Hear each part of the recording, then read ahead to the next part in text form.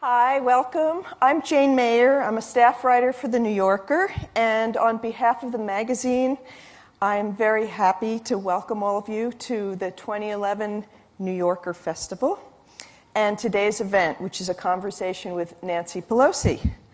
Uh, before introducing our distinguished guest, I want to remind all of you in the audience turn off your cell phones. I think I just heard some little electronic sound. Um, no photography is allowed. And if you're planning to use Twitter following the event, please use the hashtag TNYFest. Uh, the event today will last 90 minutes and include at least a half an hour or so of questions from you, the audience. Um, when you do ask questions, um, please make sure that they're actually questions, not statements. Um, so I'm very, very honored today to be able to introduce Nancy Pelosi. Uh, it's not every day that you get to talk with someone whose official title on second reference is leader. It's a title that anyone familiar with Nancy Pelosi's career knows that she has earned. In 2007, she shattered what she called the marble ceiling in Washington and became the first woman Speaker of the House of Representatives in American history. Few of us who witnessed the moment will ever forget the sight of her up at the podium surrounded by a swarm of children, her own grandchildren, and pretty much every other small person who scampered in the entire Capitol, um, as she announced that from that day on, for girls all over the country, the sky was the limit. I made sure my own daughter, who was 10 at the time, witnessed the moment on TV. She's since become the youngest paid staffer in the House of Representatives, so maybe it helped change her and give her some big plans, and many other kids too, I hope. As uh, Speaker, Nancy Pelosi led the House in enacting almost all of President Obama's ambitious agenda, including comprehensive health care legislation and action on climate change, only to see some of it unravel in the Senate and herself become vilified. In 2010, she survived a $75 million Republican campaign of attack ads, many of them aimed at demonizing her, with her hair and her smile still intact. Uh, the Democrats lost control of the House in a searing midterm defeat, and Pelosi's now the House Minority Leader, and she continues to represent California's 8th congressional district.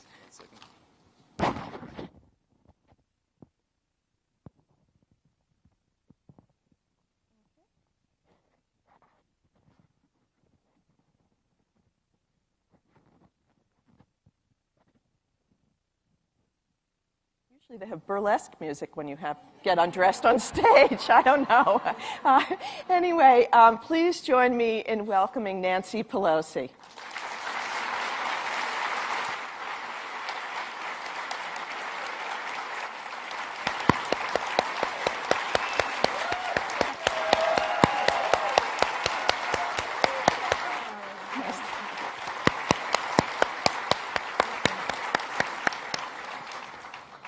You so much for coming here today. My pleasure. Us. I understand that um, New York City actually played some part in your life. You lived here at some point, is that right? Yes, I did. Well, first of all, thank you, Jane, for your kind words of welcome. It's fun to be here for the New Yorker Festival.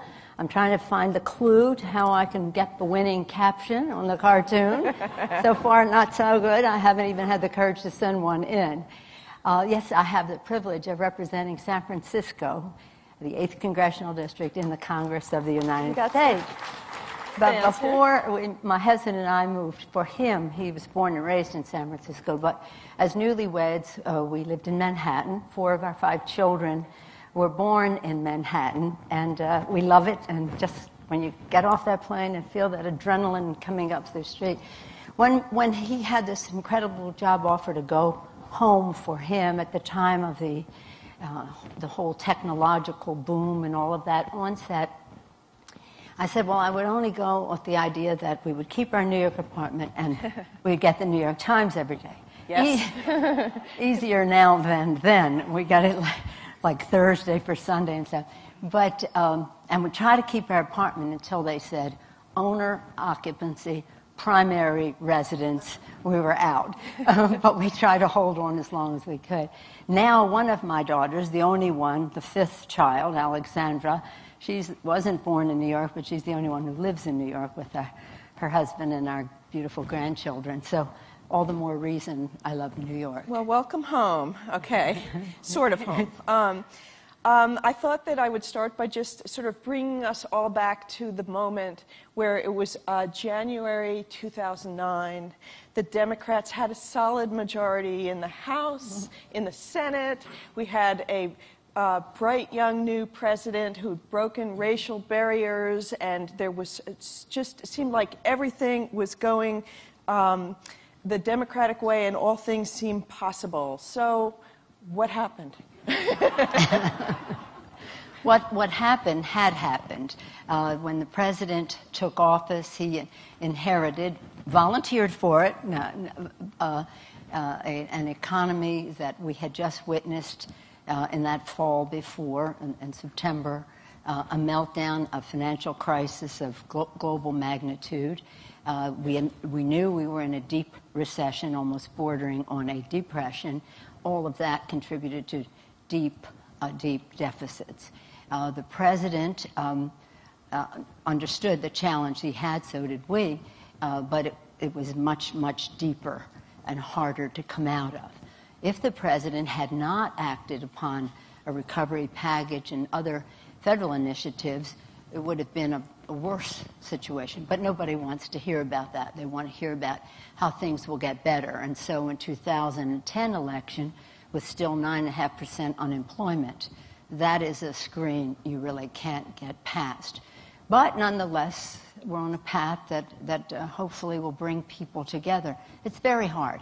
It's very hard when people don't have jobs, when their homes are in jeopardy, when, uh, when their pensions are in doubt, where the education of their children is in question. Uh, that, that, obviously, uh, it's not a great motivator to say, I want more of the same. Well, I've, I've, I've, I have to say, I've often wondered, since it does seem that, um, that Obama inherited so many difficult problems from the Bush years. And I remember reading that, I guess in 2008, you'd said, uh, I think to Bush, that, you know, you've left us, you've left Congress to clean up all the messes you've left behind. And what I wonder is, is there a statute of limitations in politics for how long you can blame Bush, um, even if it's even if it's fair to blame him. Is there a certain point? Um, I noticed that that Vice President Biden was just saying, you know, it's our economy now. Um, is it, is it, is, are the Democrats now being blamed, or is there any way to remind people of Bush, or is it just a losing bet in politics to say, actually, where did this come from? Well, uh, let's put it this way. When President Reagan was president, he was president for eight years. And for eight years, he blamed President Carter, who was president for four years. but the fact is, is that uh, I think this president, when he came into office, uh, uh, could have been clearer about the depth of the problem that we had, but the professional that he is, he was, now we just have to go forward. But you have to recognize how you got where you are, what the depth of the problem is, so you don't repeat those same mistakes. But as you say, okay, we're there now let's go forward, let's get a job done. Mm-hmm. And nobody expects it to be magical, go from one day to the next, but they do expect it to be progress. Progress. And well, that's what we have to. Saint, Theresa, um, Teresa, Mother Teresa, have some a little framed uh, saying of her. She said, "God does not always expect us to be successful, but He always expects us to be faithful. So we have to be faithful and make progress on what we are doing." But you can't say, I, I don't think you can free yourself and say uh, uh, that we want to make a differentiation between what happened before and where we go. You see people down on Wall Street, uh, they believe that recklessness of many on Wall Street, let's not paint everyone with the same brush, but the recklessness of some on Wall Street caused massive joblessness on Main Street. They don't want to see it happen again. So again, the, the um, uh, assigning of blame is one thing. You have to move from it, but you also have to learn from it. Do you think, in retrospect, that um, that Obama made the right choice in putting the health care legislation at the top of his agenda? I know there was internal discussion in the White House. I think David Axelrod even thought that he should put economic issues and particularly jobs ahead of the health care um, uh, legislation as the sort of number one priority. Um, I wonder if, if in, in, you know, at the time, did it seem the right thing to you to do health care first? And in retrospect, does it seem the right thing to do? Absolutely, the right thing to do. For the, let me, I, I, with all due respect for David Axelrod, from the standpoint of those who had the responsibility to get the job done, uh, the president stood on the steps of the Capitol, you know, January 20th, 2009. He said, I want swift, bold action now on jobs and education for the 21st century, trained workforce, uh, clean energy jobs. You know the beautiful presentation he made. One week and one day, one week and one day from his speech, the House passed the, the uh, Recovery Act, the American Reinvestment and Recovery Act, which, not by our statistics, but by others who measure them, saved or created millions of jobs. We need it more, but at least it took us to a, a, a direction of progress. Uh, the president, 100 days from his speech, the House and the Senate on the very same day. This is remarkable in itself that we would on the same day uh, pass a bill that was the president's budget. It was a statement of values. It was a statement to stabilize the economy, uh, to uh, reduce taxes on the middle class, to lower the deficit, to create jobs based on three pillars Investments in education and innovation is one. All innovation begins in the classroom. Investments in energy and, and energy security and independence, and investments in health care. These were all jobs bills. The health care bill will create 4 million jobs. If we had passed the energy bill, it would have been 2 million, even though some of them are being created from other actions taken, even though we didn't pass that bill.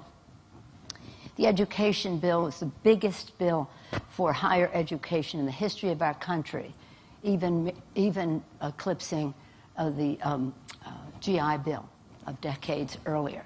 So these were jobs bills.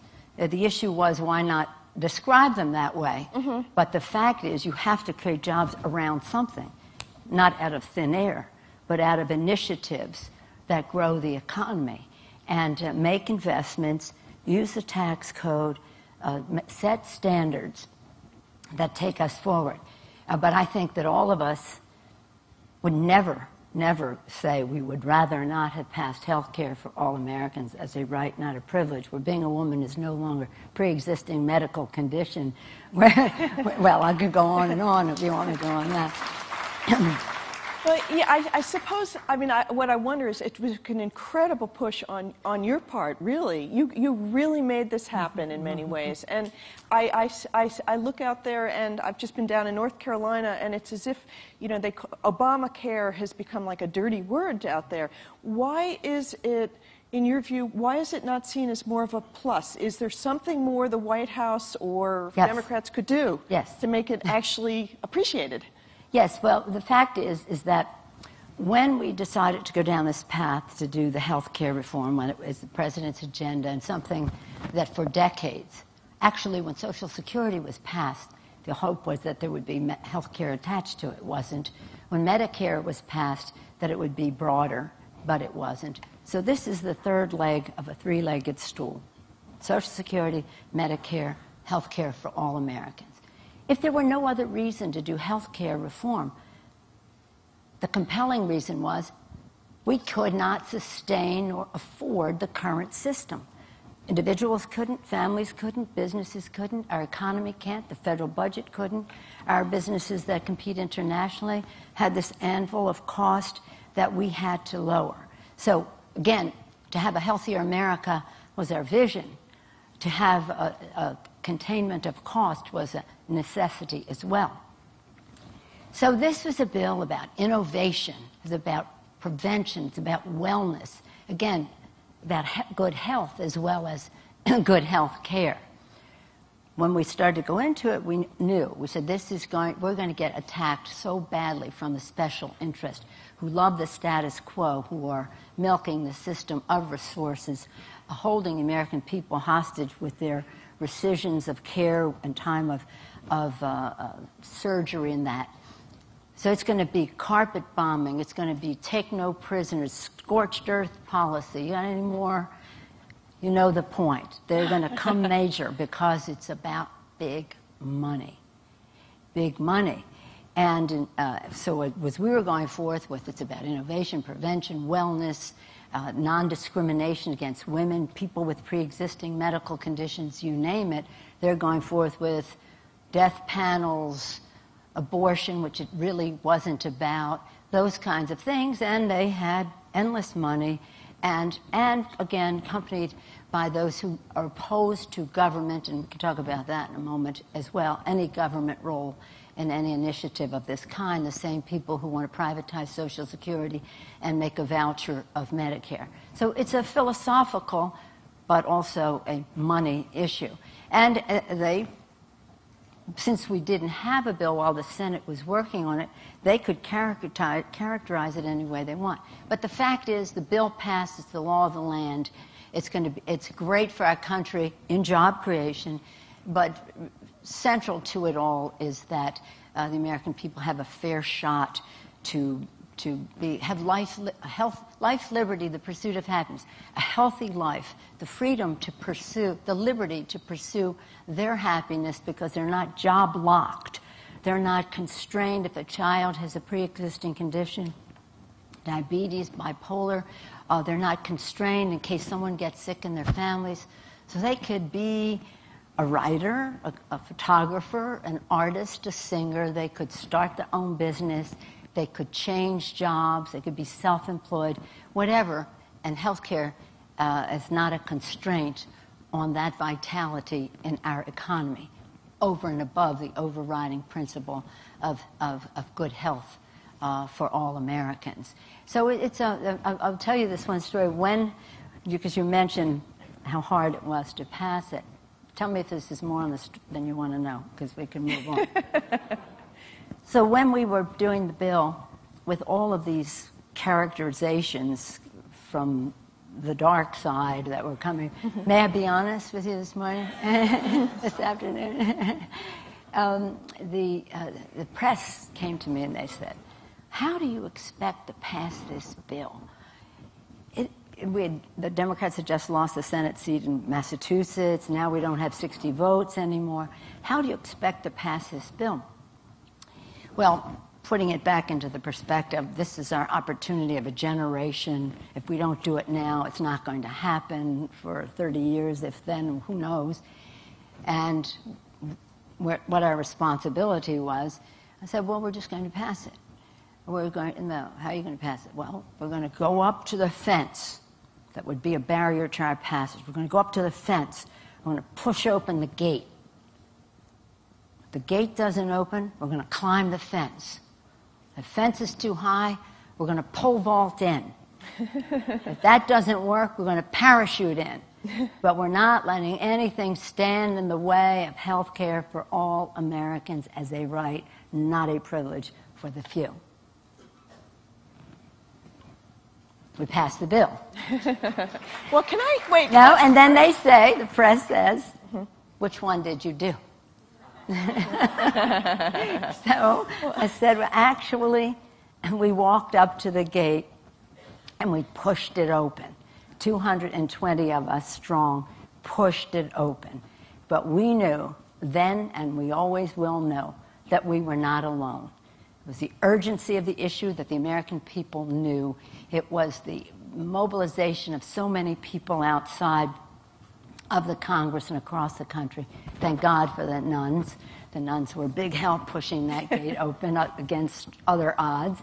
And, um, uh, and that's how we got it open. Did you personally organize the nuns? Oh, and the nuns are very well organized oh, now. Okay, yeah. just no, wondered. The nuns pray for us, but they do their own organizing. Well, um, I, I, have to say, I have often wondered what do you do to cajole these votes and get them moving your way? And I, I've read that you use your mother of five voice And um, I've also read a quote from you at some point that said, "When people are ripping your face off, you have to get and rip their face off." Oh, So did I say that? I, I thought it, but I didn't know I said it. uh, so I, I kind of like to hear the mother of five boys, but um, Well, I, when I said the mother of five boys, I was referring to, you can hear me in the back row. They were taking it to mean something of sternness. I would never be stern with my members. But, why am I it wondering? is, um, it is a, a, a, we built consensus. We worked together to put the, the bill together. In fact, we had three committees that had hearings and hearings and hearings, and we accepted many, many, many Republican amendments. They like to forget that because they didn't want to be for the bill in any event. Uh, but it's a, it's a, uh, Jane, it's like uh, weaving a very finely uh, woven fabric. Every member brings something very unique and special and strong to that building of consensus.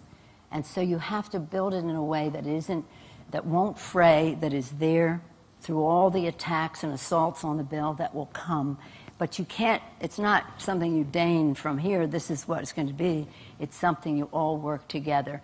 This is what would work in our region. Our country is very diverse. But it, uh, it also was the leadership of President Barack Obama. In fact, the day after the bill passed in the House, he called me. He said, Last night, when the bill passed, I was happier than I was the night I was elected President of the United States. Aww. I remember reading he had a martini. I think That I don't House. know. That I don't know about that. but, uh, Well- but I said, Mr. President, I was pretty happy last night, Yeah. too. But I wasn't happier than the night you were elected President of the United States. because if you weren't elected President of the United States, we wouldn't have had the success that we had last night. We simply could not have done it without him. But as I say to all of the people who care about health care reform when I speak to them, we could not have done it without him, but we could not have done it without all of you as well. So I say to them, take some level of pride and satisfaction in the role you played, because the inside maneuvering is one side thing, the outside mobilization is essential to getting really getting a good job done. And I think that as you know, we've just seen the figures. Um, over 2 million young people are now on their families' policies. Since last year, children uh, are no longer uh, discriminated against in terms of health care because of a pre existing medical condition. Um, millions of people in our country now have access to preventive care with no copay. Uh, and, and, and the like. And uh, our seniors certainly are beginning to see the advantage of uh, lower prices for pharmaceutical companies, but that will that, that is an unfolding part of it. And in a couple of years, of course, the whole bill will set in. So I have great pride in what it is, what we did. Uh, people will begin to feel the impact of it. If you don't think there should be a government role, you will never like this. But this is a, a, a government standard that encourages the private sector, private exchanges, and the rest. Again, we're really very, very proud of it. So. You. Um, you've mentioned now President Obama and his help in that, and um, which brings up, I think, a question that everybody probably has on their mind, which is um, what the relationship is like um, between you and President Obama. Um, the, um, there have been a number of books that have come out that have described him as, is is as somewhat aloof as a person um, and maybe a little isolated, generally surrounding himself with a few close people that he's comfortable with. And, um, and some of the books have described the relationship between you and him as, as somewhat difficult. Um, there was one. Um, I think there was a scene in a book by Richard Wolffe in which uh, you were tr- trying to explain to President Obama that he should not give up the Democrats' um, complete defense of Social Security and making this point so strongly to him that he finally said something like, I am not a stupid man. Um, and so I don't know if this really happened. I was curious. No, you don't remember this? I don't Okay. remember that. Okay, but is he? No. How is he about taking advice? How is he in the? You know, does does he ask advice? Does he take advice? Is he warm? How is he to deal with? You want to talk about the president now, okay? the president is, uh, let, let me say what my standards are for leadership. You tell me what you think. I always say to people when they want to lead or run for office or whatever, or class president, what is your vision? What is your goal? What do you, why do you want to do this? What do you know about the subject? And therefore, what is your judgment? Do you have a strategic plan to get this done? And can you convey that to other people? Barack, President Barack Obama scores A plus plus on every score. He has a vision about taking our country in a, a, fresh new direction where many more people are transformed in their thinking about what their possibilities are. He knows the issues. He's not been around Washington that long, but he's brilliant, and that saves time. that saves time. It's a quick study. And maybe not being there long is, is a plus. We have to assume it is, because he, you know, he's extremely knowledgeable knows his vision, therefore his judgment is geared in that direction. He's a strategic thinker about how to get something done, and I don't have to speak to you about his eloquence about convincing other people. Uh, so when you ask, he's the President of the United States. Uh, for two years of his term, I was the Speaker of the House. The legislative branch is the first branch of government. The executive branch is the second branch of government. However, he's number one, the vice president is number two, the speaker is number three, but we all had a mutual respect uh, for what our, um, our responsibilities were and the roles that we played in all of that, including now as leader of the House Democrats. So uh, I think this president is a great president. I think that I don't want you to misunderstand what I say right now. He is very decent. He's smart, he's knowledgeable, he listens to other people, he accommodates their views, and then he projects his decency onto them when he comes to a compromise. Sometimes the other people don't receive that compliment the way they should. I mean, it's just that's all I can say. He always thinks, like when last year when we had this in our view, horror show, of the tax stuff at the end of the year, when the tax cuts at the high end were renewed, and even icing on the cake with um, uh, estate tax advantages even greater for the high end. We were like, well, lift the debt ceiling. We didn't like any of it to begin with, but at least lift the debt ceiling. I think that the president's view was the Republicans will act responsibly in the majority projecting his decency on to some who saw things differently. Let's just put it that way. but he's great. He's great, and he will be reelected. And campaigns are campaigns. It's a you know it's it's the challenge that is out there, but I feel very confident about that.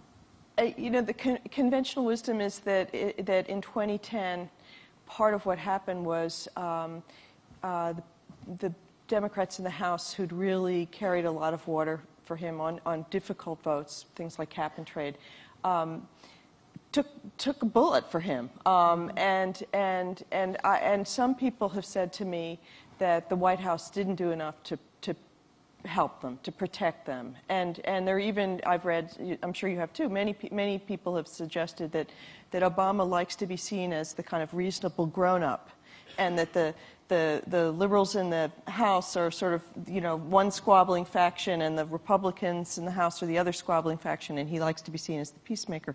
Do you feel that um, he did enough for the Democrats who were up for reelection in 2010? And um, um, do you see him as that person who always wants to be in the middle?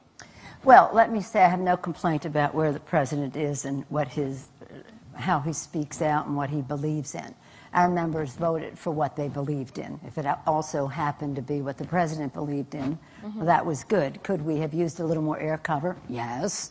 but nonetheless, there was nothing that was made a difference. When you have 9.5% unemployment, which would have been 15% without the actions of President Obama. But nobody, again, wants to hear about what it would have been. Mm-hmm. If they don't have a job, it doesn't matter that more people wouldn't have had a job. They don't have a job. And it's a screen you cannot speak through. It's, it's just what it is. Nine and a half percent unemployment. No incumbents ever get elected to anything unless there's a clear, clearer view of why we are there. But that would not have happened in the last election. So I don't. I, I, I, I have nothing but praise for the president in that regard. And again, the members voted for what people vote for what they believe in. Mm-hmm. At the end of the day, it, it, it's that's why we have to weave the consensus uh, together that we do. As for this thing about the, the we are our caucus. We've never lost a vote in our caucus. We're not squabbling. We always won. We always want, because we worked together to see where we could find our common ground. Uh, the um, one of the things that happens now is that if you don't want anything to happen, the best thing to do is to make confusion reign. And that's really what's happening on the other side confusion about the role of government. And uh, so you don't talk about the role of government, you just say, we have a deficit. Well, we have, we have a deficit, and we all know that the deficit must be addressed. I'm a, grand, a, mother, a mom and a grandmother. I don't intend to pass on any private or public debts to my grandchildren. But if you look at this as just discussing the deficit, it's harder to understand what's going on.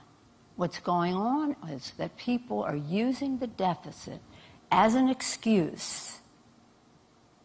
They're hijacking the legitimate fears of the American people that we all share about the size of the deficit, but they're using that as an excuse to destroy the public space clean air, clean water, food safety, public safety, public education.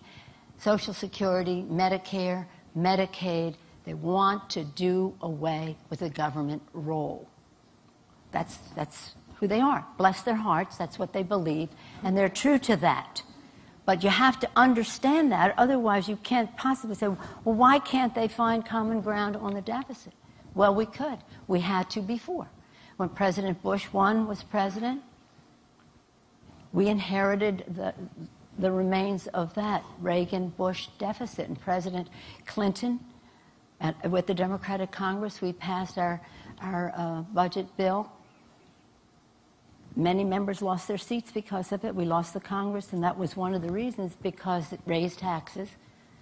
But it created, enabled the private sector to create 26 million jobs, took us on a path to fiscal recovery in the last four uh, years of the uh, Clinton budgets were in balance or in surplus, taking us to a trajectory of $5.6 trillion in surplus, immediately turned around by President Bush when he came in, tax cuts for the high end, uh, two unpaid for wars to give away to the pharmaceutical industry and to billions and billions and billions of dollars.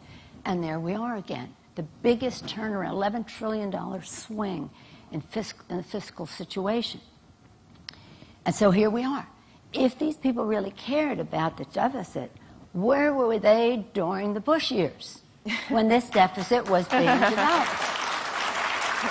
So, so now we have a place where we have a debate not only about uh, investments and priorities, we have a debate about what the public role is. And all the time this debate is going on, we're not talking about jobs jobs, jobs, jobs, which is the way to reduce the deficit because you bring revenue to the Treasury. Is that more on the subject than you wanted me to say?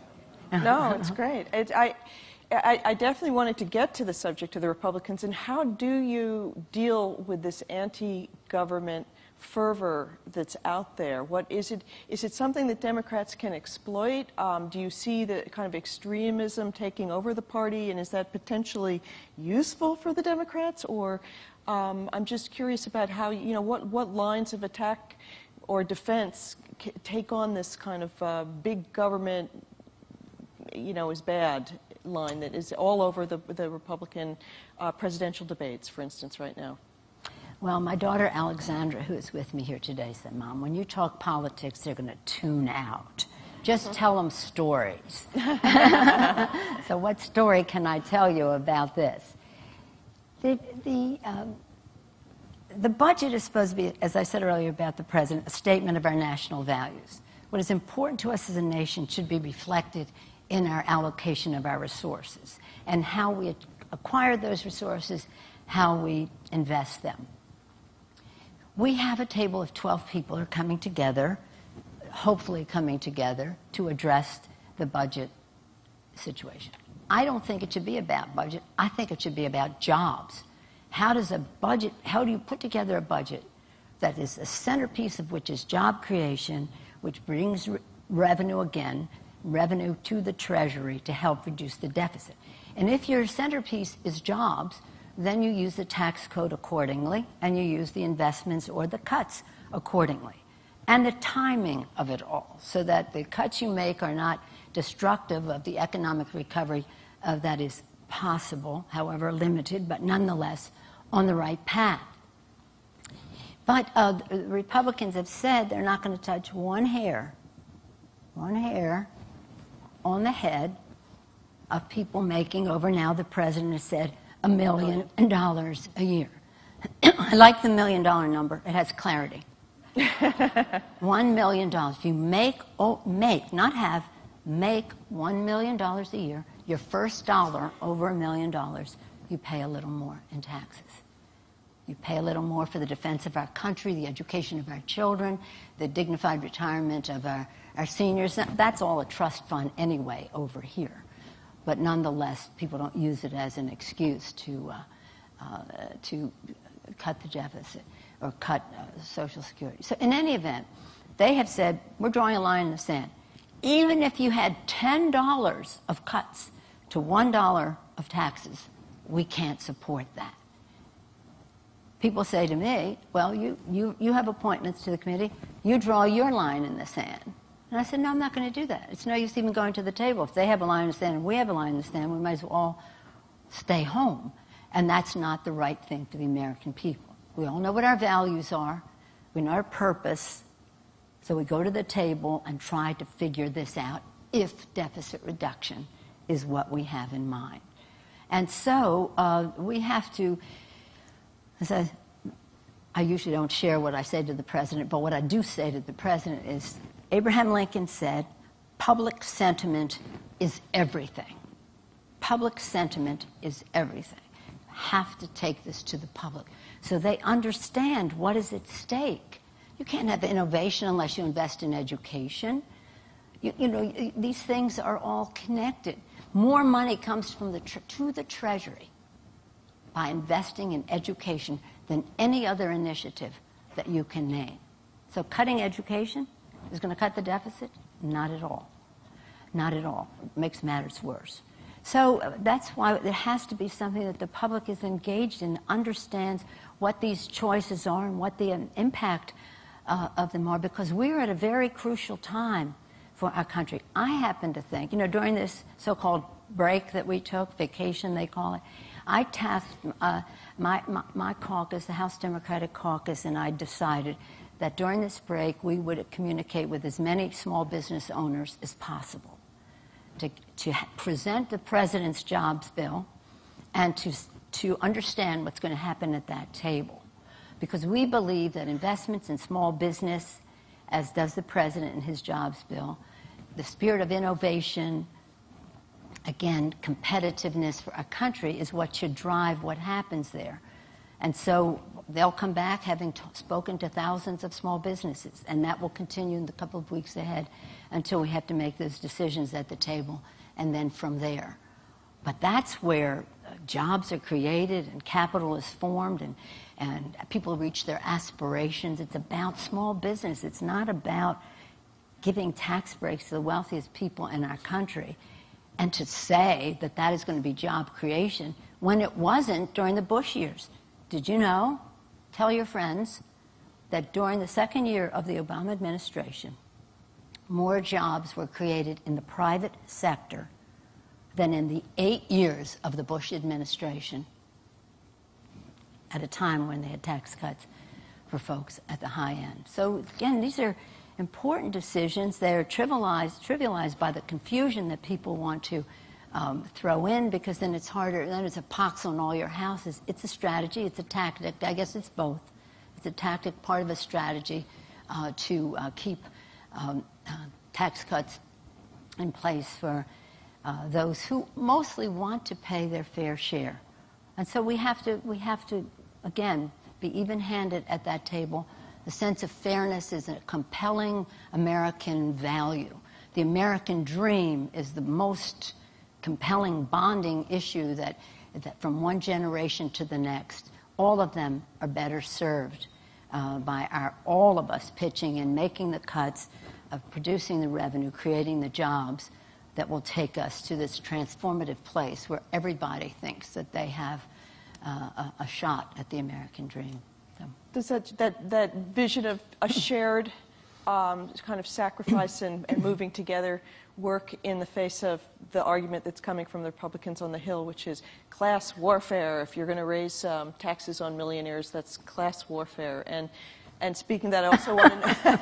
I'd like that. That has been the rallying cry, and and it's coming a lot from um, the, the sort of the Tea Party caucus, which yeah. made me also want to ask you, who really is the leader on the Republican side? Is it Eric Cantor or is it John Boehner?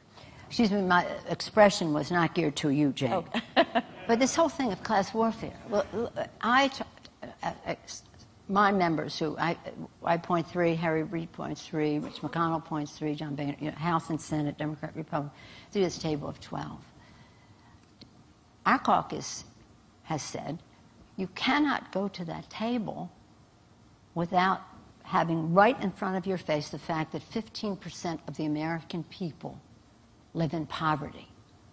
15%. 22% of America's children live in poverty. 20, uh, about 20, uh, it's about 40 some million people who live in poverty.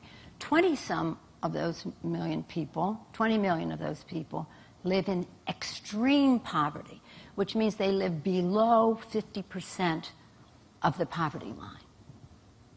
What is going on here? We have wages not rising with productivity. We have equity going like this, these gaps in ownership and equity in our country something's wrong with this picture. When we became the majority, the first 100 hours, we passed the minimum wage increase. The first time in 11 years that had been increased. The first time in 11 years. What is, what kind of policy is that? So when they want to talk about class warfare, as Warren Buffett said, yeah, there was class warfare, and his class won. and and that really, I mean, this is about our democracy. It's about a strong middle class. It's about fairness. It's about giving people a shot. There's no guarantee, but there's an opportunity that is, again, an overriding American value. So when they talk about class warfare, that is really, in my view, um, a, uh, a defense.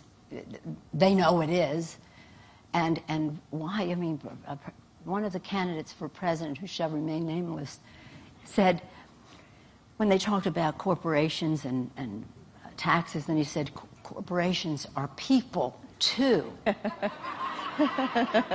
well, perhaps I have news for him. Workers are people too.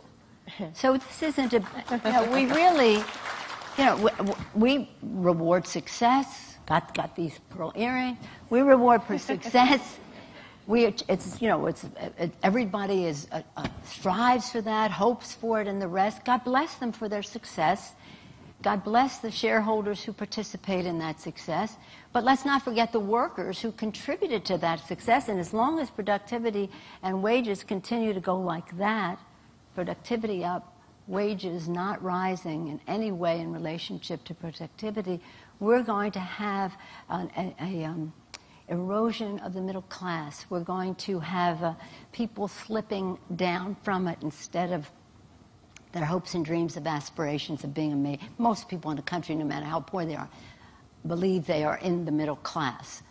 Uh, and that's where they want to be. And we have to honor that aspiration. So we think that um, they can say all they want about class warfare am I missing something here? Perhaps you'll tell me during the Q&A as to why that is an illegitimate charge in a country that has life, liberty, and pursuit of happiness as part of its founding documents and has fairness and opportunity as some of its uh, uh, guiding principles.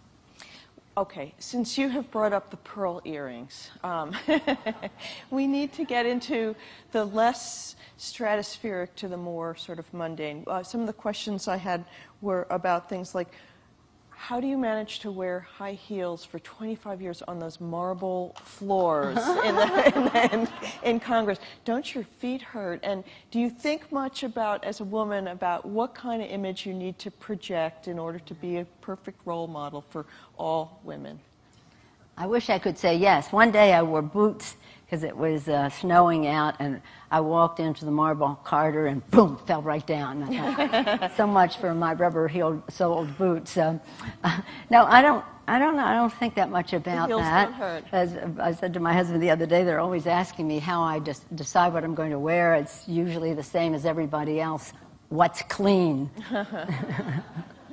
um, well, um, in speaking of what's clean, it makes me think of the story about how you met your husband, um, which I thought was very charming. It's in your book, and um, and I wondered sort of what kind of larger um, sort of uh, maybe message we could derive from it. Um, Nancy Pelosi was a student in college, I think, mm-hmm. and um, her husband, you were going to pick up some things from the dry cleaner. Oh, yeah. And your husband, not yet husband, but this young man said, Oh, I've got some things at the dry cleaner too. Here's my slip. Could you pick them up for me? And she came back from the dry cleaner with her stuff, and he said, Gee, I thought I had more shirts than that. And she said, Oh, I totally forgot your stuff. And I wonder, is there a message which is don't do their dirty work for them? Oh, I don't nice. know, you know. But um, or he seems like he was the perfect choice. He's been a great partner. Yeah, he's but, lovely. And remember that after we were married, he gave me a shirt to iron, which I stuffed in a drawer someplace. I think we gave the bureau to Goodwill, and I don't know whatever happened to the shirt. So.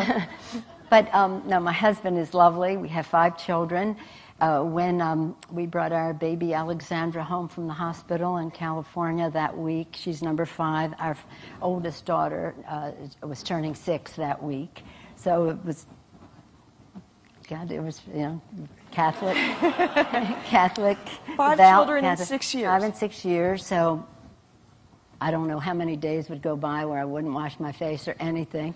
But once you're in school, you think you can do anything, right? You've managed and that's why I say to young women and to, to moms wear as a banner of honor the dipl- diplomatic skills, the organizational skills, the engineering skills, the interpersonal skills, the, the, everything that it takes to be a mom, even if it's one child or two children, well, five and six years, it's, it's um, that's something. But, but uh, I mean, being a mom and being parents, moms and dads. It's really the most challenging, wonderful, rewarding job in the world, but it is, uh, shall we say, constant. And uh, so once they, so when I, uh, when I got this opportunity, years now have gone by, I got the opportunity to run for Congress. Our congresswoman took ill and she wanted me to run in her place. I had never wanted to run for Congress. I came from a political family. My father, when I was born, my father was in Congress. When I went to, was in first grade, he was elected mayor of Baltimore, Thomas D'Alessandro. When I went away to college, he was still the mayor of Baltimore. still the mayor of Baltimore. That was my whole life. Um, so all I wanted to be was normal, like a normal teenager and a normal this or that. I had no interest in running for public office. I had public service as a, value that our parents, we, you know, we had to make sure people knocked on the door. They, when I was a little girl, I could tell somebody how to get a bed in city hospital, uh, how an apartment in the city projects, how to get something to eat, how to get in or out of jail, whatever the case may be, um, whatever. Because I heard my mother say it so many times. And we had just a responsibility to the community. And when we did a favor for somebody, we expected them to do pass it on, to do a favor for somebody else. So that was how I was raised. So I was always interested in helping people in politics, but I was the shy one. Six boys, one girl. You can just imagine the youngest, the attention. So I didn't want any attention. And um, but then Luck Burton, my, this beautiful, lovely woman who represented us in Congress, her husband Philip Burton had been the congressman, a powerhouse in the Congress, and then she succeeded him. So I went to Alexandra and I said, Alexandra, Daddy and I have talked about this. I have an opportunity to run for Congress. I've never had any desire to run for Congress or any public office, but I had this opportunity. Now, four of my children, our children were in college already. Alexandra was going to be a senior in high school. So I said, Alexandra, any answer is okay. I wish it were one more year later. It would be an easier decision for me. If you want me to stay home with you, um, that's a perfect answer. If not, I would be gone Monday through Thursday. But with all the sincerity and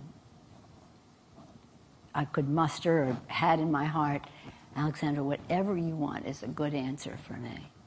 She looked at me and she said, Mother, get a life.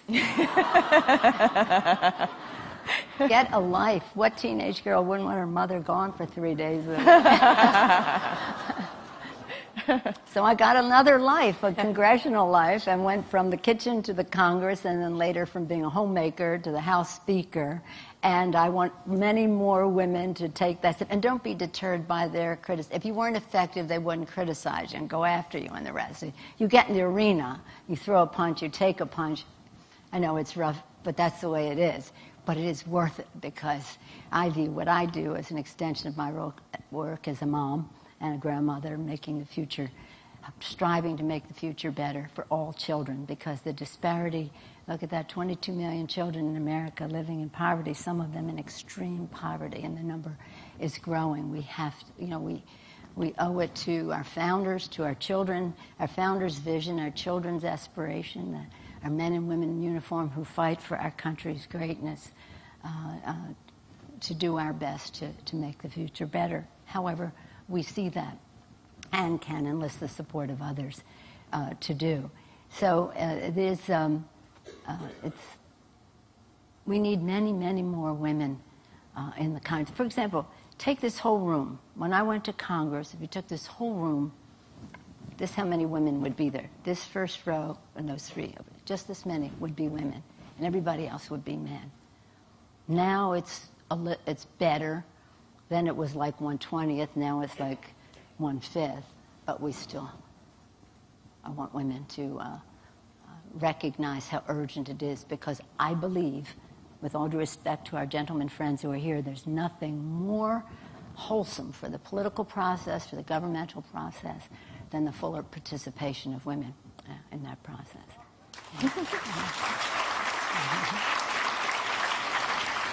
Can, can I ask you um, about whether you feel gender equality has really reached Congress? And specifically, one thing I wondered was, as we know, the, the Republican speaker who is now in that job, um, it, famously cries a lot. And um, he has cried when he's lost votes. I don't think I remember you crying when you no. lost any votes. And I wondered, how do you think it would have gone over if you cried? Well, first of all, we didn't lose any votes. oh, can you just imagine? Can you just imagine? Well, I think things are getting better, to go to the first part of your question. When um, it, I, have written this book called Know Your Power for women to know their power and this, that, but in it I tell this story. And I think it, I mean, maybe you tell me if you, what you think of it. So we were there in Congress, and again, there are like 20 of us out of 435 in the House. 435 out of 20 of us. On Tuesday nights, we used to go to dinner, some of us, our Tuesday night group. And there were three women Barbara Boxer, now our senator, but she was in the House then, Barbara Kennelly from Connecticut, and I. We were three of the women, say it's a dozen or 15 altogether. At these dinners, oh, we, well, it was just like everything else in Congress. Nobody ever asked you what you thought about anything. You just had to jump in, jump in, interrupt. It's hard when you go home after you've been doing that all week, but.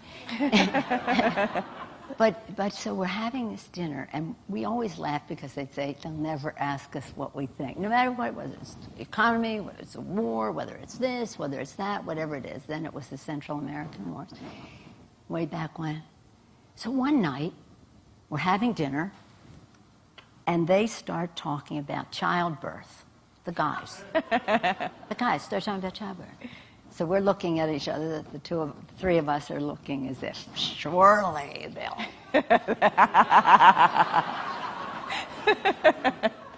oh, I'll never forget my first. I went in there, had on the green gown, had the mask, had my camera, had that thing on my head. I went in, I went in. Uh, it was all about him. Yeah, all about him. you never know there was a mom and a baby involved. It's all about him. I saw what was going on. I got out of there right away. and the next one goes in. I took all these pictures. I still have them. You want to see them? No. uh, but they all go in about what their great moment was in that gown with that thing, with that hat and that camera, and the whole thing and how it was, and what the doctor's philosophy was with the first one versus the second one. And we're thinking, you know what? We're having dinner. We don't even want to talk about childbirth, having been there ourselves for the whole thing. And, and, but surely they'll say, Is this an uncomfortable conversation for you? or what do you think? Nothing. Zero. But we were not going to let them off the hook. We just let it decide. So a week later, we're at dinner again, and this beautiful man who used to be a member of Congress, Don Edwards, he was the floor leader for the ERA. He was one of the biggest feminists in, in Congress, a lovely, lovely civil libertarian anyway we're talking about something, and he says, Nancy, what do you think? And I said, blah, blah, blah, blah, blah. this is what happened last week, blah, blah, blah, blah, you know, the whole thing. Can you believe these guys? And thank you for asking what I think. Those same people were at the table, and they said, we never did that. So not only did they not have a clue they didn't have a clue that they didn't have a clue. we would never have done such a thing. Imagine to have a full fledged conversation about childbirth and never say to a woman there, Does this make you uncomfortable? Or, How was it for you uh, in terms of having a baby? But I thought, if they're not asking us about this subject, what on earth makes us think they're going to ask us about a declaration of war uh, an increase in taxes or you know whatever else comes along. We just had to sort of make our own way on it. But that's the way power is. Nobody ever gives it away. You have to contend for it, fight for it, and that's why. Um, when I was in Congress, I had uh, no intention of running for Congress, but I had no intention of running for leadership once I got there until we lost in 94, 96, 98, 2000, 2002. I thought, you know what? I know how to win elections. I'm not going to wait around for somebody to ask me because they never do. We just made our push, and then we won in 2006, bringing everybody together in a, a, bit of a different way. And women have a way of doing that, consensus builders, with all due respect to great leaders that we have. Great story. Well, I, it, it, does make me wonder when they, you know, there's a, a, new book that came out recently. Uh, Ron Suskind wrote it that describes, I think it quotes Anita Dunn from um, the Obama White House saying that it's a boys' club down there. And I wondered if you had found that, but also the context seemed to be missing. Has it ever not been a boys' club? I don't know. In the, in the, in, you know, has it been is it, it was, is it different now than it was um, when, as a woman dealing with this White House? Any different from, say, what it was like in the Bush one, Bush two, Clinton?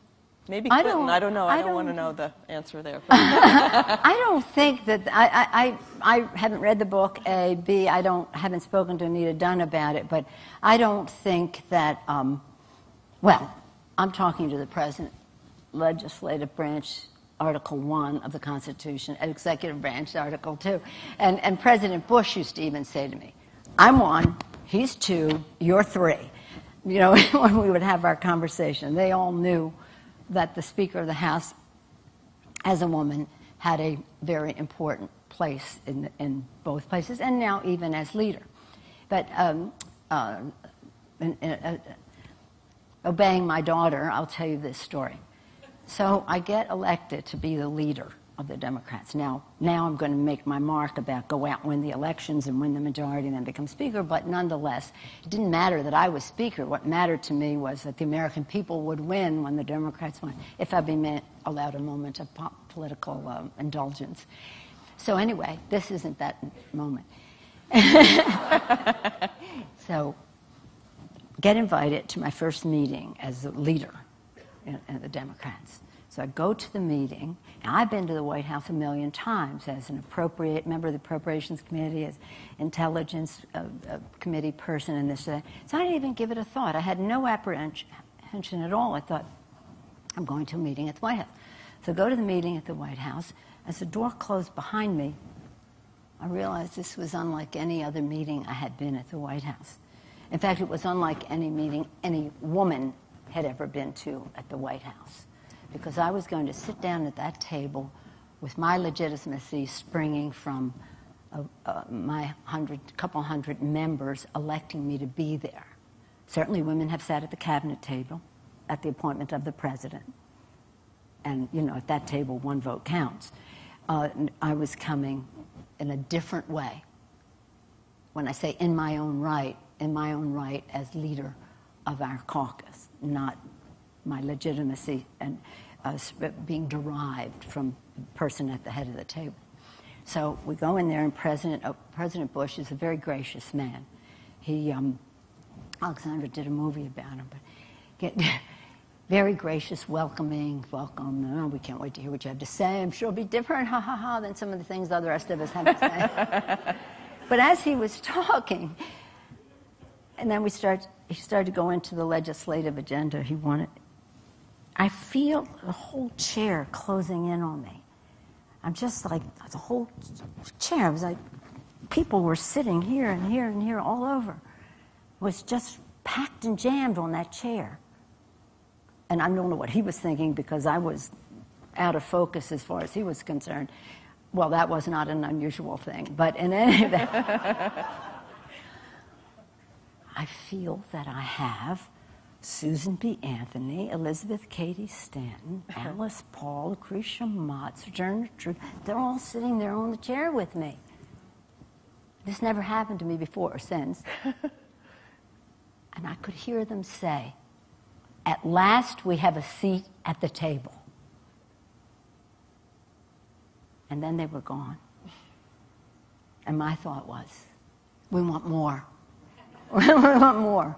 But imagine, so you think, you think of the shoulders that women stand on, of those women who fought so hard, left their homes at a time when it was unthinkable, unladylike, whatever they tried to characterize it, for them to go out there and fight over 150 years before for a woman uh, to have the right to vote, and it took a long time.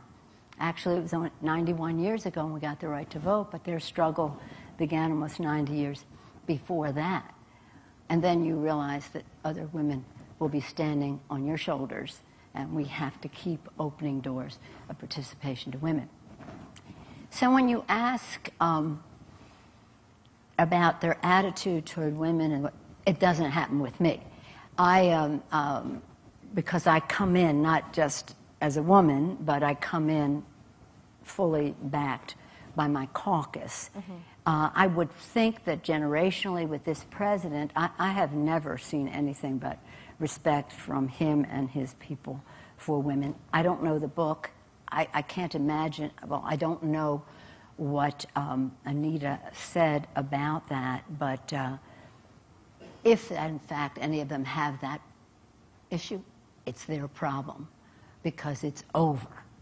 It's over. I mean, really, women have asserted themselves as uh, Hillary Clinton ran for president with such dignity, with such intelligence, with such stamina, with such astuteness. I mean, uh, we just have to keep this thing going for women because it's really very important for our country. And anything indicates to me that uh, uh, hope on this is that when I became whip, first I was whip, then leader, then speaker, the mail that I received from fathers of daughters, fathers of daughters now, was so encouraging. Thank you for what this means to my daughter.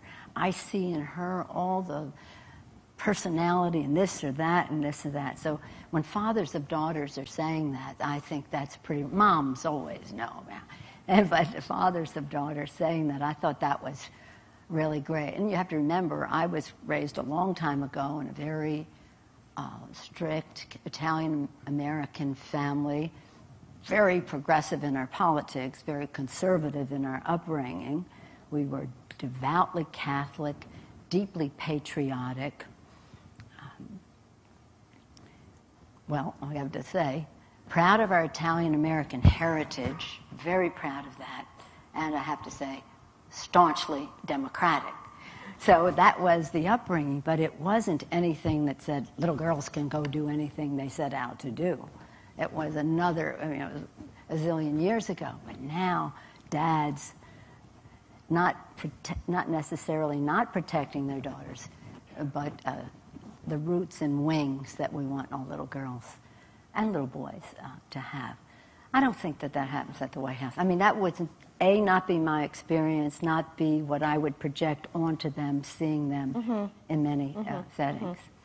Um, well, looking for, look forward towards 2012, um, I want to take some questions in a minute, but I just was curious about um, what you think might be possible in terms of the Democrats' uh, prospects for taking back the House. And um, it looked like to me there were something like two dozen seats. Is that right? And, 25. Mm-hmm. And um, 25.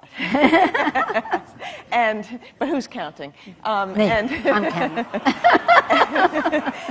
and um, you know, I I, it, I, I remember the the main analysis for 2010 was the problem was the economy, and uh, there's still employment over nine percent. So, yeah. what can you hope for? What do you think is realistic, and how do you do it? Okay, now we're talking politics now. I mean, is that allowed at the and then back, New Yorker we'll Festival? Yeah. then I'll tell you my favorite New Yorker cartoon.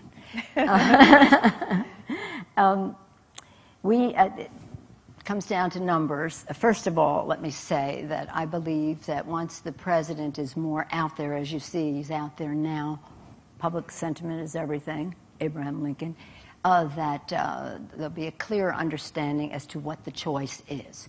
I think the president has excellent prospects to be reelected because he's great. Uh, we don't know who the opponent will be, and that's up, up to the Republican Party. But I believe he will win because I believe in his vision for America. Uh, that when he goes out there and talks about the greatness of our country, our values, not issues, issues divide, values unite, the values of the education of our, our children, the economic, uh, the uh, retirement security of our seniors, the creation of jobs, the protection and safety of our neighborhoods and, and clean environments in which our kids can live, a world at peace in which everyone can thrive, and our security all done in a fiscally sound way. That's nothing partisan about any of that, I don't think. And that common ground can be achieved at the higher ground of values rather than at the bean counting, accounting ground down here. So once we agree on our values, then we can decide how we allocate our resources. And I believe that he will make that case uh, because I know what's in him to do that, and we have seen. In terms of the House of Representatives, me, uh, since we're talking politics, in the first, um, in the two years when we were in, in power, when the president was in power, and by the way, we got a number of good things accomplished under President Bush. We passed the biggest energy bill ever passed. It wasn't the climate change bill, but it was an energy bill that was of huge consequence, raised the uh, emission standards for the first time in 32 years, did historic things uh, excellently. We worked with him on a number of issues. But when we had a Democratic president, we had uh, more things that we could get done, starting with raising the minimum wage. So for the two years, you have bookends of first bill he signed, Lilly Ledbetter, to end discrimination in the workplace for women. And one of the last bills he signed the ending discrimination in the military, the repeal of Don't Ask, Don't Tell. And everything in between, okay. and everything in between was about expanding liberty and opportunity. That's what our country has always been about more opportunity, whether it was the freedom that the health care bill gave you or with the uh, uh, Wall Street reform bill, the biggest, the greatest consumer protections in the history of our country.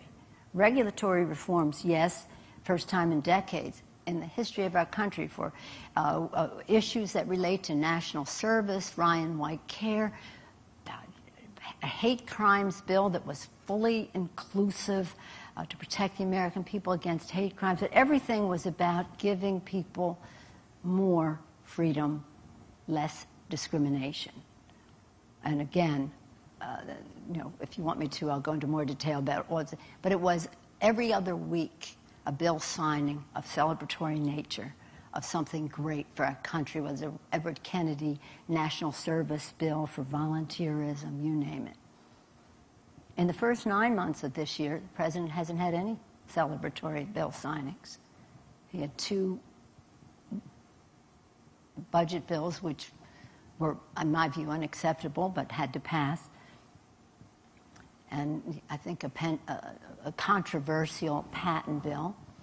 I didn't vote for it, but, but some people did. Enough did. But nonetheless, nothing. Three bills.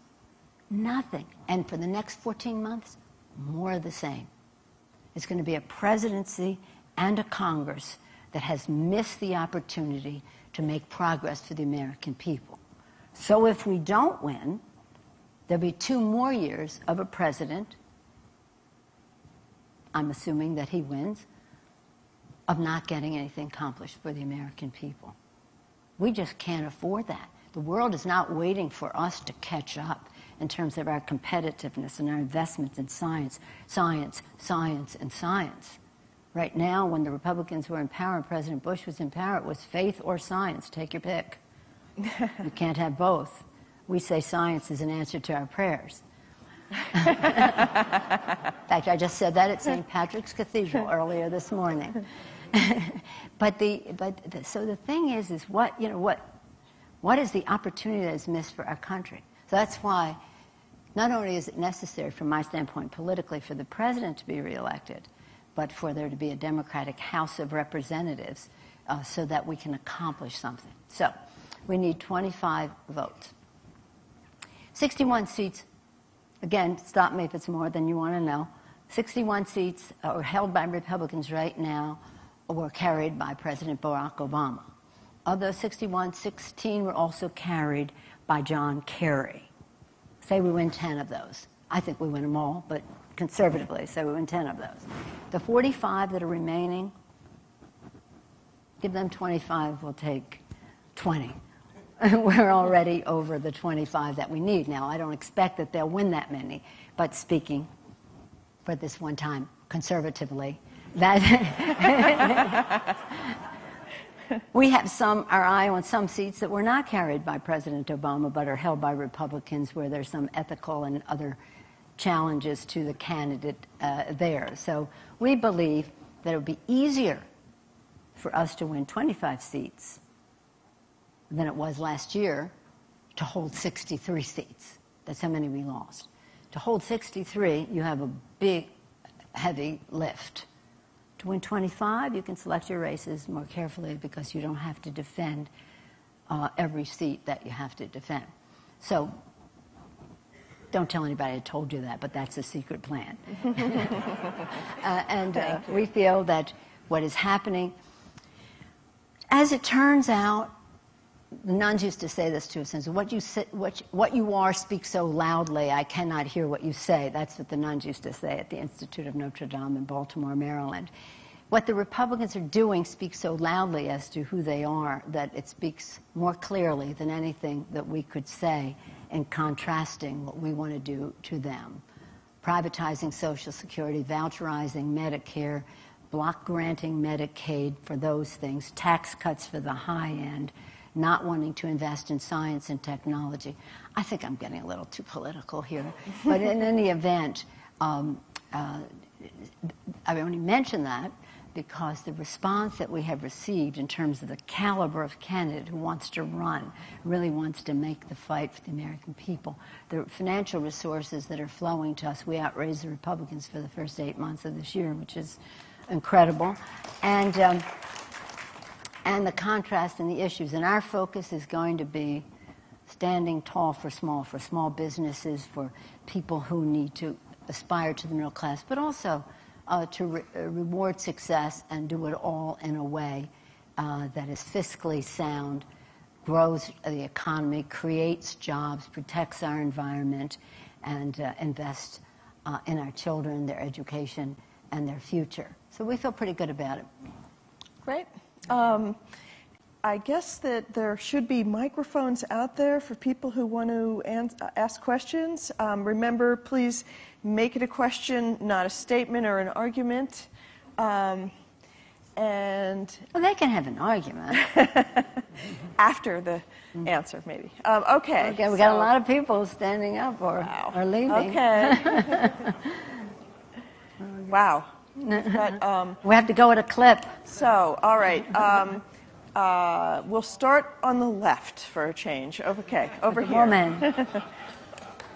I'm a family physician, and thank you for everything you've done to Thank address inequities in healthcare.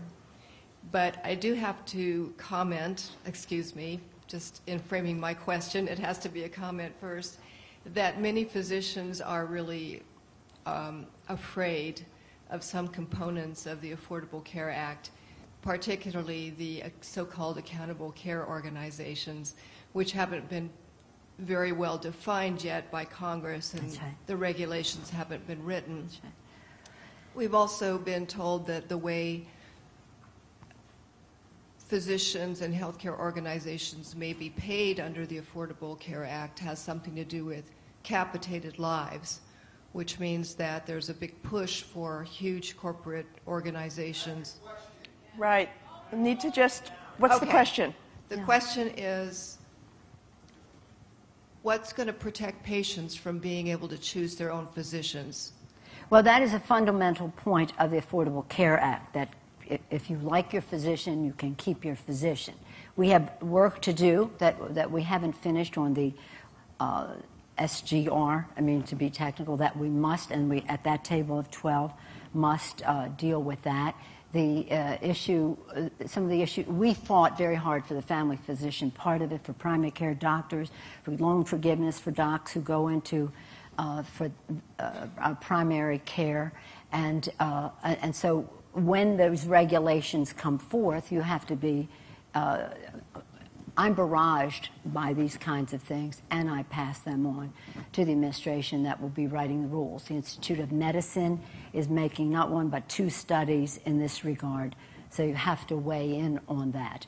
But the, the end of the day, the overriding principle is that um, uh, that the uh, people will be able to keep their physicians.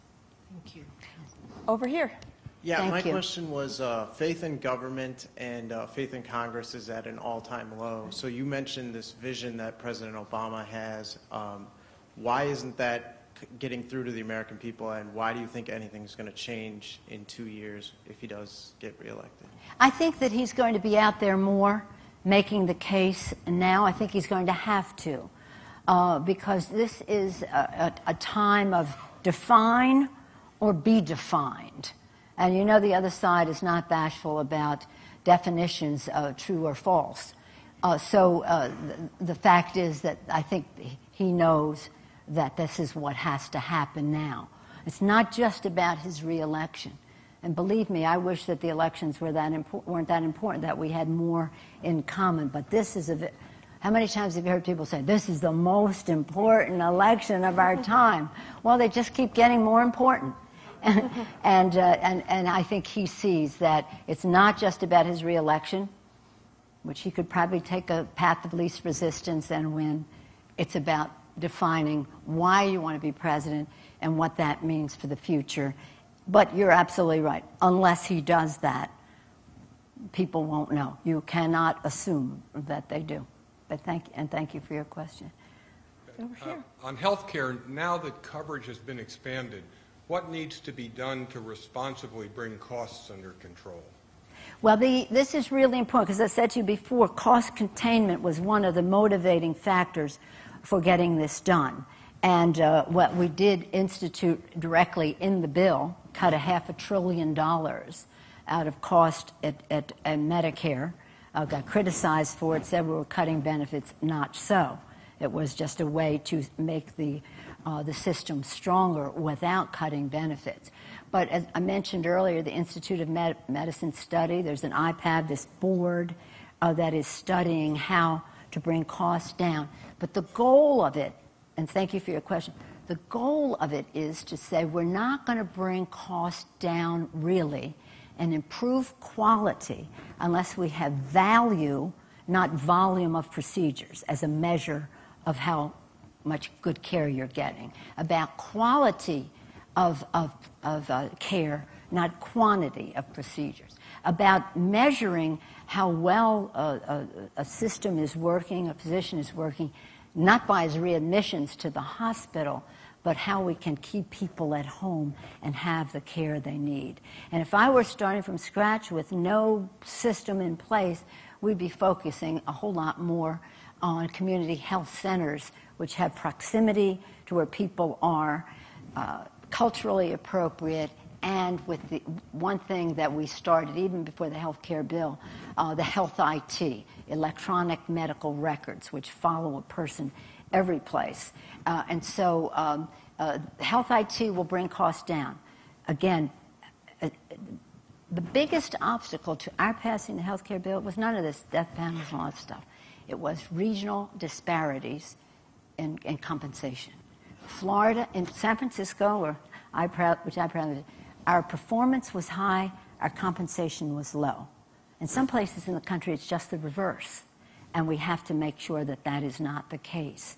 But this has to happen if we're going to really have the bending of the curve, whatever term you want to use on it. But it is a decision that has been made. Now, one of the things that our friends on the other side of the aisle have said is they want to get rid of that board that's going to get rid of the, the cost containment. I don't know how you figure that. Thank you. Does that answer your question? Yes. Thank you.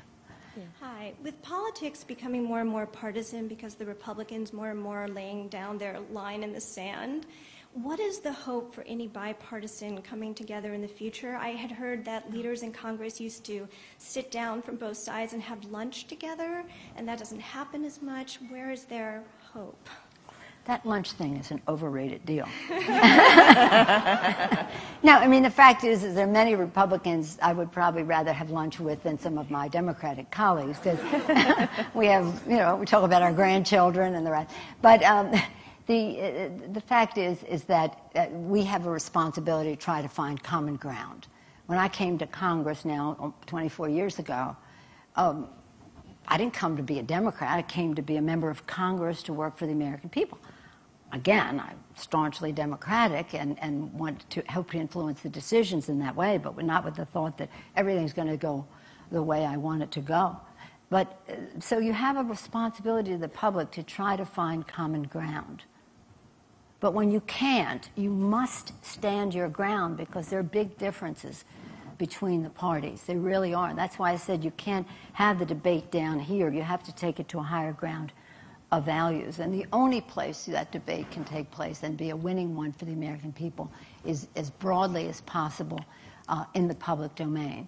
Yes, they talk about, you know, we're not, uh, we don't ignore each other. I mean, we, you know, just like gorillas in the mist, you nod to each other as a, you passed another human being and you respect that.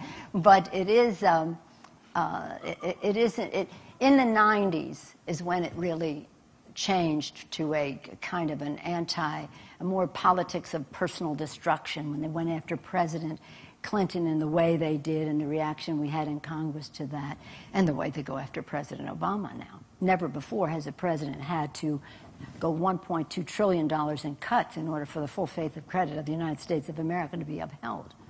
What is this? you know, over and over again, these uh, holding him to, to a different place. Uh, it's uh, it's the issue we have to deal with. But you know what? We just have to deal with it and respect the fact that the public deserves and expects better. That's why I think it's really important for us to put forth our democratic agenda in the clearest possible way, and then let them put their agenda in the clearest possible way and see what happens. It's that confusion that is an agent for uh, disenchantment on the part of the American people, and the fact that people do not have jobs. Do not have jobs. But sometimes those lunches get overestimated. Hi, you said you supported um, science. This is an, an administration that appreciates science, but I have a question about the science coming out of the Department of Education. None of the mandates in Race to the Top are scientifically based. They are antithetical to the Institution of Education Sciences research and all of higher education research. And my question is, um, Mr. Duncan, Secretary Duncan, has been has ignored voices of educators, and he was actually appointed in place of an expert female educator. At what level do you think this might be a gender issue? Oh, I don't think it's a gender issue, and I think that what you have said is, is a point of view, and there are other points of view. Uh, I would like to know what your point of view is, though, on the waiver that the president is putting forth now to accommodate uh, uh, more discretion at the state level in terms of meeting standards uh, and the rest, and, and uh, relating to teachers. It's, this is a highly controversial issue, as, as you can tell by the, uh, the question. The, wa- the, the waiver that he's putting forth right now is, is a quid pro quo for states that have not adopted race for the top, and it's really not addressed the excessive and, I'm going to tell you, fraudulent use of standardized testing mm-hmm. for children in every grade level across all subjects. Yeah. And so it's really more of a, a, a window dressing fix. Uh, it is removing that cap for the 2014 um, yeah. 100% um, uh, goals that had to be met. I mean, it's a goal that's unattainable. I mean, no, yeah. no one attains a 100% goal. I mean, you can't ask the police department to say, yeah. Okay, you'll lose your jobs if 100% of, of crime is eliminated. Yeah. That's essentially what that goal meant. Yeah. But as far as the rest of the money, it still being has strings tied to it that are emphasizing excessive standardized testing and privatization of our public school system. Well, I travel all over the country, and I try to visit uh, schools when I do, you know, when, when they're in session, et cetera. And so I hear what you say in varying degrees. That is to say, some schools are trying really hard and they're making progress, but they haven't met the standard, and then the parents get a letter that this school is no longer going to. And, and we've reported all of that back. It, it, some, uh, uh, we have an expression, the plural of anecdote is not data, but we have enough, data, uh, uh enough, enough experience uh, to say that this has to be done differently. Excuse me, and I don't mean to interrupt, but the data wait, is wait, wait, solid. Wait, we've only know, got but it's a, it's a matter of opinion. No, it's a matter of opinion. I mean, I, I'm sympathetic to what you're saying.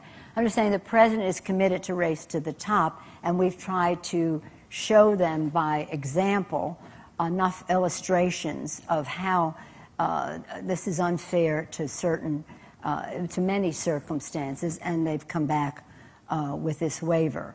Uh, I'll, I'll, be interested to see how it works, and I will take your concerns uh, back with you. I have with me. Being, um, I have to be the bad cop. I see the stage manager saying one more question. Oh, so maybe they all sorry. have the same question.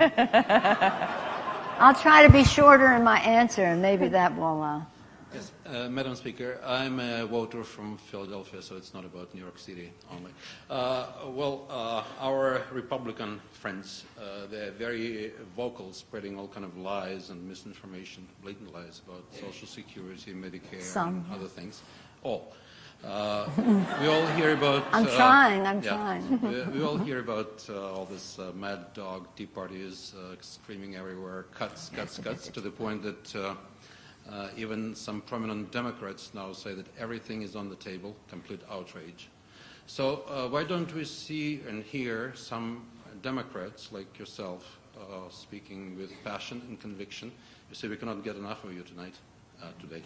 Uh, why are you so gun-shy about presenting the liberal case? Because I believe people would be open to do this. Where are the graces of the Congress? I appreciate your question. Um, let me say this.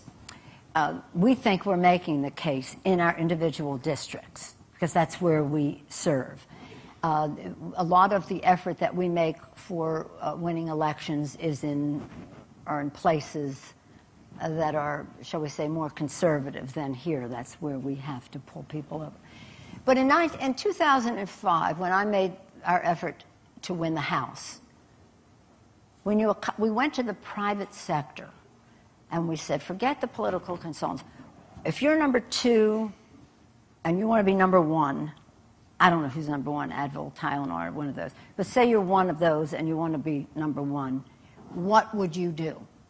And they basically gave us a plan. This is how we do it in the private sector. This is how we measure uh, our, the, the marketing aspects of this. You have to be know who you are. So that takes time to make sure everybody puts their priorities in order. Because if you had, uh, uh if I had a couple hundred of my members in the room and asked for priorities, we'd probably have at least a couple hundred. So we have to get that down to a few, which we called our 606 in 2006 prioritize, differentiate from the Republicans, take them down, and, and I don't mean to say that in a, uh, in a uh, way it affects the American people, but take down their things that they're out there saying. You know, uh, undermine the credibility of what they say when they do that, and uh, and then come out with what you are pointing forth. So we were the voice. The point being of that is we were the voice. There was a Republican in the White House, a Republican Senate, a Republican House. The House Democrats were the voice. And we went out there, went after President Bush for trying to privatize Social Security, did our plan, and we won. And we were united, and the senators joined us in this too. We were united, we made our plan, narrowed it down, because you could have a mountain of nuggets, but what are your five or six that you're going to make your case on? Now it's different for us. We have a president in the White House. We have a president in the White House. The American people want to know what does the president think when they talk about the Democrats. They don't say the Republicans are saying this. What do the House Democrats think? They want to know what the president thinks. Or they want to know if we're in agreement with him. Or if we put something out there, they want to know what he thinks about it. What about me? What do you think you know, what does he think about what we're talking about? So it's a different role for us. But our members know what they believe in and what they fight for in their districts, and those who are running what they will fight for. He's going out there now. We are very pleased at how he is going out there in a very strong way. I think that was essential for him to do any, shall we say, uh, frustration you may have felt about it, I hear all over the country. So now he's pivoted, he's in the mode, he's, he's out there to, to make the d- distinction. What's his vision? How does he differ from the other? What is at stake in this election? I have every confidence that we couldn't be better served than by his being out there, but I have every uh, uh assurance from my members that in the districts that we have to win, we will be making uh, our own our own case to the American people. But the the message we are again putting together our priorities in the House. We will be announcing our priorities, which are in sync with what the president is saying, but we're not taking anything for granted in that regard. We know what it takes to win. We intend to do it again. Now, let me tell you about this New Yorker cartoon. Have any of you sent in your, uh, your in the contest? Well, you, you, know, they have a contest every magazine with a, a cartoon with no caption, and you're supposed to send in what your caption is. Um, I know that our time is over, or else I, I would not have taken the time during our, our discussion. So about 30 years ago, I met Bill Hamilton, who did the now, I think it's called Now Society or something like that. He did the cartoons in the New Yorker. And I said, you had the best cartoon I ever saw. I'm a cat, uh, chocolate ice cream aholic. I just, I'd, I'd, rather not eat any food at all, just eat chocolate ice cream all the time. So he has a cartoon. Can you believe this? Two people are sitting at a table. They have cartons of chocolate ice cream in front of them chocolate, it says on the cartoon, on the boxes. They're sitting there. And one says to the other, Will finding the best chocolate ice cream really make us better people? so I told him that. He said, You know, I said, That's my favorite of all your cartoons.